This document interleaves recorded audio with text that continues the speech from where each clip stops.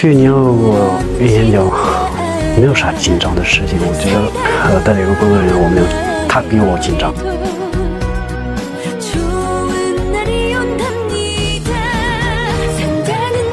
对，那个时候我我的汉语也没有那么好，呃，有些呃语言嗯方面有对声声调上面有一点问题，但是我觉得自己呃很棒。